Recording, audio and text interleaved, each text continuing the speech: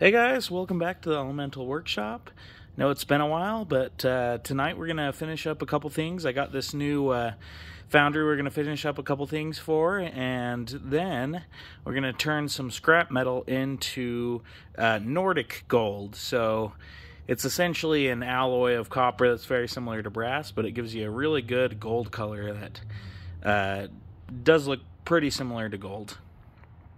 Now this foundry I got is uh, just kind of a, a, cheap one I found on Amazon that's lined with Kaowool. So I've taken it and uh, covered it in rigidizer that I dyed blue just to make sure I could get it everywhere.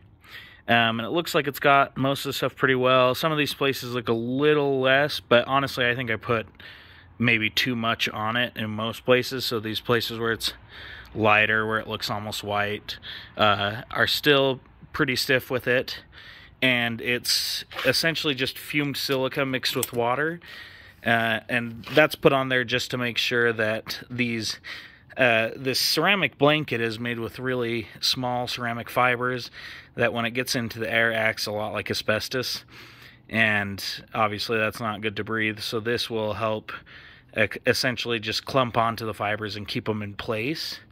That's what's gonna protect you from the fibers. Uh, so I'm going to put that through a quick fire really quick just to make sure everything's working well. And then I'm going to line it with some uh, bentonite clay and that'll protect the fibers from any of the metal. It's not as good as, say, castable refractory, but I'm still waiting on that to come through the mail. So for right now, I'm just going to put a quick uh, coating of that bentonite clay on it and hope that works. All right, and our first ever light is about to get underway. I'm gonna come over here, gonna try to open it. This valve's a little touchy, so I'm gonna bring it on and I'm gonna bring it pretty low to start with. Ah, there we go.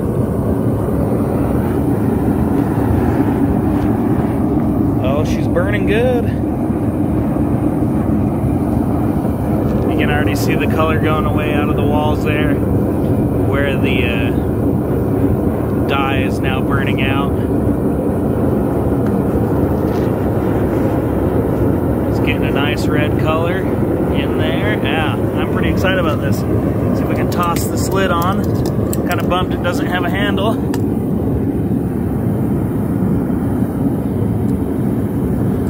There we go. Gonna let it go through a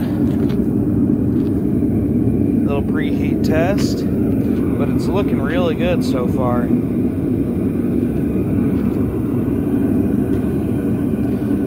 All right, we'll come back when we're ready to put the in.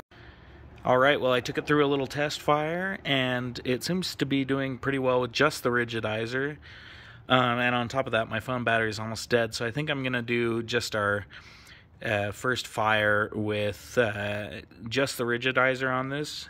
It's not good practice to do uh, in general because the coat uh, or the the Kaowool can still be uh, destroyed by things like uh, flux that we put in the metal. Stuff like borax can dissolve it away pretty easily.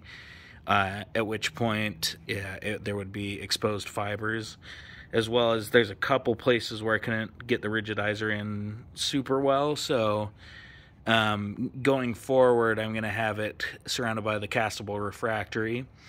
Uh, but tonight, just to save a little time, we're going to do our fire really, or our uh, melt just like this. Uh, and as far as I know, it should still be safe. Uh, through all the research I've done, the rigidizer itself is all you really need to protect yourself. Uh, if someone in the comments, you know, knows differently, let me know, uh, and I'll update the video description. But uh, so far as I've researched this, this should be fine. Okay, well, through the magic of video editing, here we are earlier in the day. I'm out here at uh, local scrapyard. I'm going to try to go through some of this stuff and see if we can find uh, all the metal we need to do our melts and make some Nordic gold. Okay, well, we just got back and this is our haul. Uh, let's take it back and get the melt started. So the formula to make Nordic gold is about 89% copper, 5% aluminum, 5% zinc, and 1% tin. Uh, copper and aluminum are pretty easy to find at scrap yards, and we got a bunch of that. However, zinc and tin are not usually able to uh, easy to find, at least in pure forms. Um, there might be some alloys. In fact, in the next video, I'll talk about a couple things else that I found there uh, that were pretty interesting. But in pure forms, they're not very uh, easy to find. But if you come over here to where I've got all our metal that we that we got you can see kind of what my plan is uh, to uh, to deal with that. Um, for the copper and aluminum, pretty simple. Like I said, we got some uh, copper core wire as well as some uh, flat bar stock copper. I'm it was in with uh, some of this brass over here, so I'm not sure that it's pure copper, but it looks to be uh, the right color. Then we have some aluminum core wire, if I can get it to focus on that. Not very well, apparently. Here we go. Some aluminum core wire that we're going to be using for our aluminum. And now over here we've got a few things of brass. Now, brass is an alloy of copper and zinc. Uh, most common brass is somewhere around 65% copper and uh, 35% zinc. Uh, so that's we're going to be uh, essentially adding less of the pure copper and a little more of this brass to make up for that, and that'll also be our zinc content. Uh, it should be nice too because adding uh, pure zinc to metals can be kind of hard. Uh, sometimes it'll burn all off before you even get it in there. And then for our tin, we're going to be using this is some scrap lead-free solder I had, which is, if I'm remembering correctly, something around 96 or 97% tin, and then the rest is silver. Uh, if you want to see a good silver recovery from that, Cody's Lab has a video on that that uh, goes over the process really well. But for right now, we really just need the tin, and the silver will be a little extra plus for us, I guess. Um, but yeah, it shouldn't change the makeup of it very much at all. Uh, so let's get over and we'll measure out all our metal. Well, actually, first we gotta uh, strip all the plastic off of this and then yeah we'll measure it all out and get to melting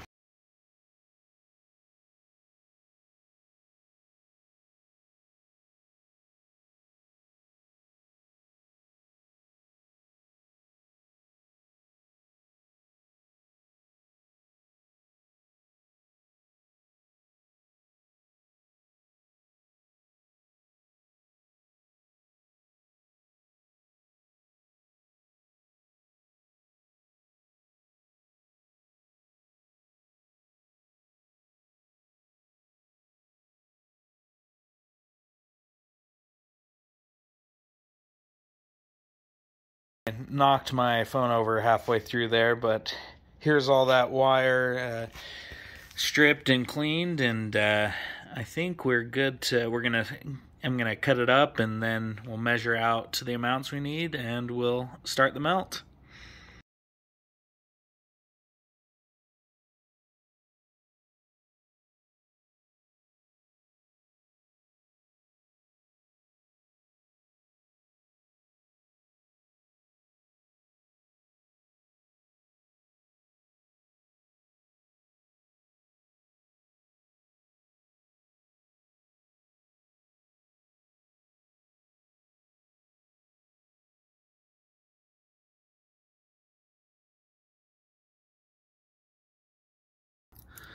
So I'm going to start off by melting.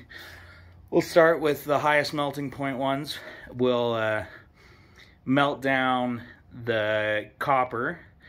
And then, uh, even though brass is the higher melting point, we're going to melt down the aluminum. Because what we're really worried about in the brass uh, vaporizing off is the uh, is the zinc. So we'll do the brass third, and then finally uh, we'll do the solder. All right, let's light her up.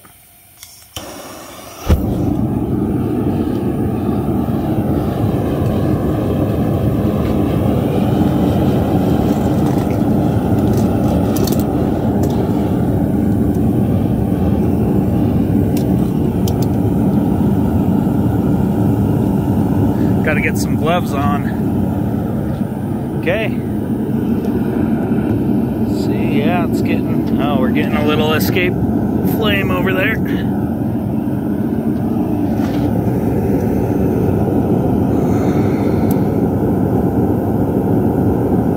Okay. All right, let's wait for that to heat up and all that metal to melt, and then we'll add the aluminum. I got some weights on the top there, and that seems to have stopped the leaks. I don't know if you can really see in. Let's see. It's starting to melt a little in there. You can really see the that uh, purple on the side is the infrared showing up in the camera.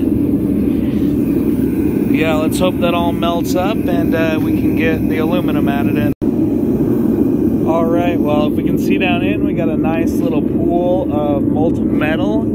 So I'm gonna add in the aluminum and then follow that up pretty quick with the, uh, with the brass. So we should be able to just drop this down in.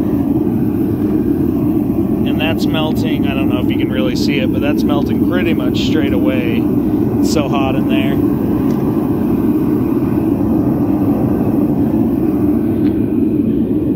If we can get a shot down in that's it's pretty much all melted into that already. So I'm just gonna go ahead and add the brass in and stir it around to hopefully get that all mixed in there. We'll go ahead and add the brass in now.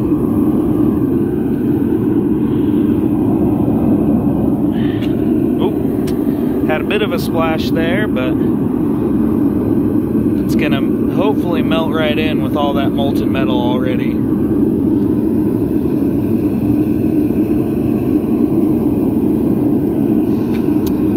My little uh, rod I was stirring it all with. It's just right over here. Give that a stir. Oh yeah, that's already melted.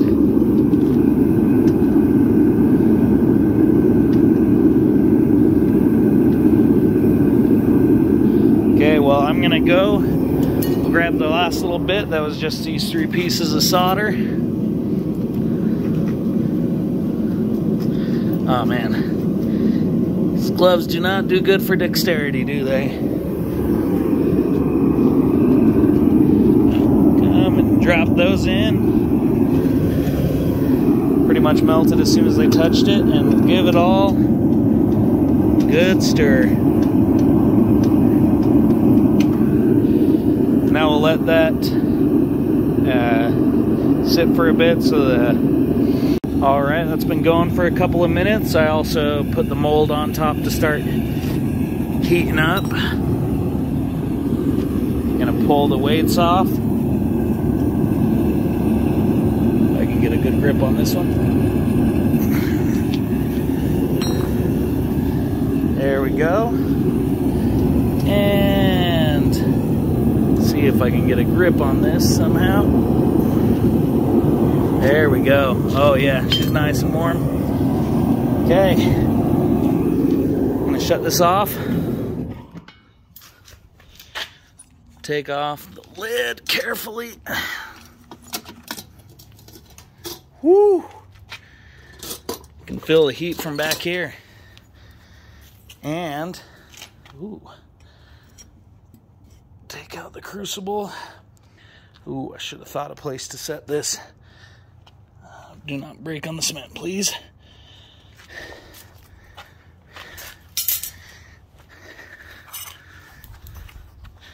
Now we're gonna just see if I can't get some of the slag off the top. Okay. Okay, there's all that slag. And now we'll go and try to carefully cool this down a bit more.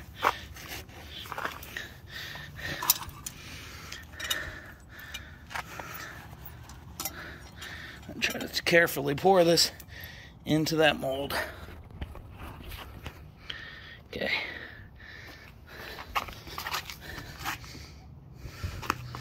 Okay.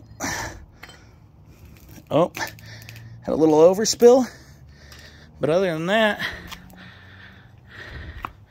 it looks like we measured that perfectly. So I'm gonna bump this to the side a little. We're gonna let that cool down. Just gonna drop this in, cool it down.